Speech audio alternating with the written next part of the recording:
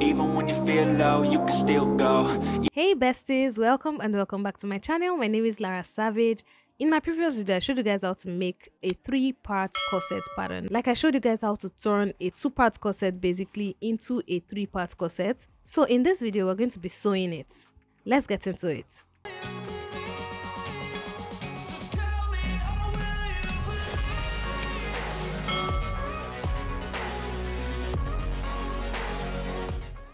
Now guys, I have cut out my pattern right here. This is what it looks like. For the body parts, I have added at least 6 inches from that waistline. So I'm using the bodies of the two-part corset. Remember, that's what we used to create our three-part corset cup. So we have to use that same pattern piece for this. So you're basically going to take those three-part corset cups that we made and the two-piece corset bodies basically and you're going to mix the two of them together. If you've not seen it i'll link it up here so that you guys can go check it out. And also don't forget to add those six inches excess at the bottom of the waistline. So guys for this you would also notice i didn't you know have it as different pieces. I joined the pattern pieces like this before cutting it out on the fabric so that it can be one piece. I didn't want to be cutting out several pieces so this is what it looks like basically.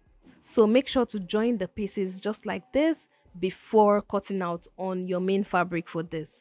Now on the sides as well make sure you add half an inch seam allowance on all the sides except the center front which is going to be cut on a fold. So guys it's going to be easy to sew this one because you're going to just simply arrange it just like this. You don't need to know which one is going to be the side which one is going to be with the center.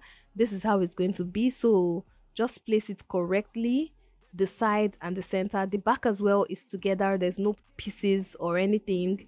This is what it's going to look like. So i'm going to pin it down like that and then pin down the other side. This one i have also cut out of the center back because i'm going to be using loops. You guys know me. I love my loops. So i'm going to be using loops for this instead of a zipper and i'm going to just sew it down on the sides now i'm going to take my cup pieces and then i'm going to arrange it accordingly. So can you guys see arrange it how it's going to be arranged where the arrow is going to the other arrow. I have even put arrows on my fabric itself so be careful. Don't use a marker that is going to show on the other side. So i'm pinning it together right sides facing pin it together just like that and then i'm going to sew it down That's it, the end of the song. Next time you'll sing along. Trust me, there's nothing wrong. I just need to carry on, cause. Guys, this is what it looks like. I have sewn it, I have sewn the cups, I have sewn the bodies. Basically, I'm going to use my ironing ball to open up the seam right here. And then I'm going to just take the top piece now the top piece again is another thing you need to be really really careful about you need to be really cautious the shorter side of the cup piece at the top should go to the shorter side of the cup basically the bottom cups so can you guys see make sure it's according to how it's meant to be and then pin it down and sew it down right there using half an inch seam allowance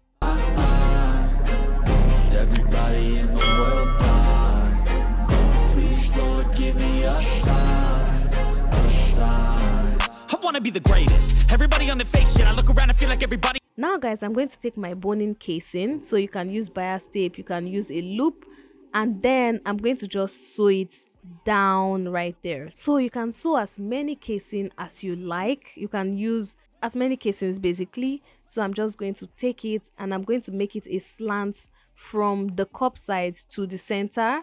So it's going to be a slanted one instead of you know a straight line. It's going to be slanted just like this. Can you guys see what it looks like now this is what I have.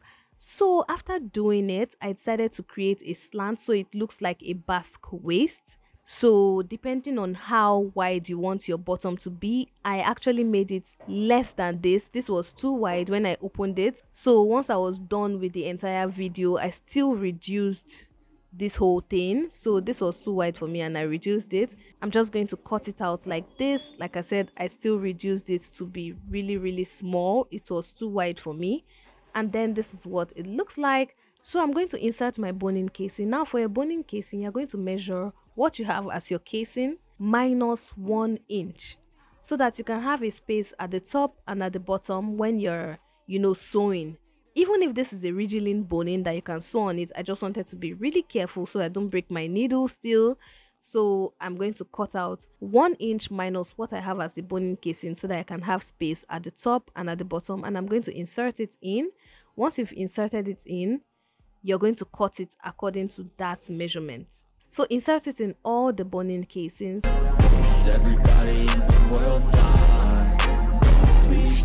give me a sign, That's it, the end of the song. And then we're going to take our cups basically just like this and I'm going to add casings to it to emphasize the lines basically. So can you guys see what I'm doing? I'm going to place my casing along the sewing of that side and once I'm done with that, I'm going to place another one across basically just like this. So I'm going to do it for everything. Don't let them tell you what to do, man. They don't know shit. Now guys, you're now going to take the cups and the bodies and you're going to place it right sides facing. So make sure the parts where you have the smaller side of the cup is facing the center side and then the place you have the larger side of the cup is facing the side. So can you guys see what I've done right here? The smaller side is facing the center, the larger side is facing the side, and this is what it looks like. Like a magnet, lose won't have it till I'm doomed in a casket. I ain't playing, got a weird mind. If you work 8 hours, I'ma work 9 If the shit tastes sour, you should taste mine. I'ma stay in power for a long time. Get up, nah I ain't a quitter. Toss me the ball, I'm a really big hitter. Big picture, I'm a straight killer. Rising the song to I'm now going to add my cups to it. In one of my next videos, I'm going to show you guys how to make these custom cups. So in this video, I'm not going to show you guys here but you can use any cup ready-made cups custom cups whatever cups you want to use just insert it. And then you can use hemming gum to even iron it to this fabric so that it won't even move at all. So just place it right there and then it's going to look like this once you're done. Once you're done you're now going to take your lining piece and you're going to place it right sides facing the main fabric. Once you've done that sew it along the entire top and along the entire bottom. So just like this the entire top and the entire bottom you're going to sew it down except the two sides. So don't sew the two sides because you're going to turn it from there. Once you're done you're going to cut it snip the edges snip the corners all the curves so that when you turn it it's going to turn out perfectly well and guys this is what it looks like turned inside out. Now to make sure my lining does not poke out like this i'm going to take my hemming gum and i'm going to place it inside. So in between the lining piece and the main fabric i'm going to iron it in between so that the lining stays inside where it is. So i'm going to iron it right there and then i'm going to do this for the top and the bottom. And once i'm done this is what it looks like. Can you guys see? It's not even moving at all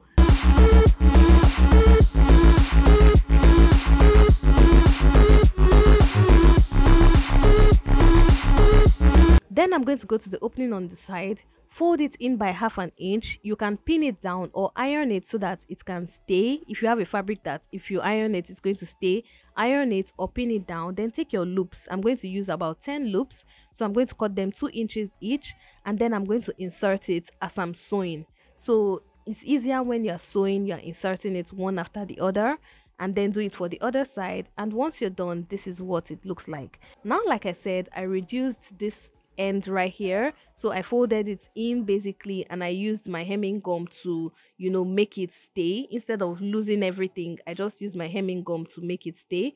And then this is what it looks like as the final result. I love how it turned out. It turned out beautiful. It turned out perfect. Guys i hope you guys love it. If you have any questions please ask me in the comment section. Guys if you recreate this please don't forget to tag me on instagram at lara savage creations. I'll be ready to showcase your work with all my growing followers and even here on youtube as well. Also join in as a member on this channel so that you can have one-on-one sessions with me. And you know when you're creating your pieces i can help you all through the way. That's one of the perks of being a member on this channel. And also you also get the chance to have exclusive membership videos only. And um, you know the perks are so amazing. So guys join in as a member thank you for your super thanks. It helps me to know that you guys are loving what i'm doing. Please keep them coming in. It makes me feel special and amazing. Please also watch my other videos, subscribe to the channel, like this video, share within and outside your circle, comment in the comment section. And until my next video, do have yourself a wonderful morning, noon, or night wherever you are. It's still your favorite content creator and fashion entrepreneur, Lara Savage, signing out.